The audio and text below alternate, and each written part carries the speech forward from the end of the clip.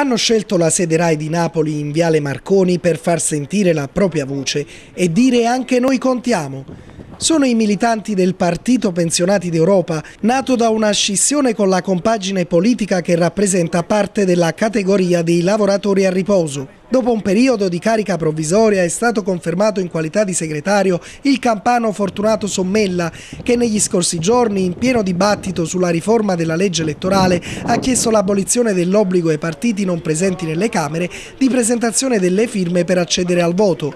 Nelle sue parole le ragioni della manifestazione e della rappresentanza dei pensionati.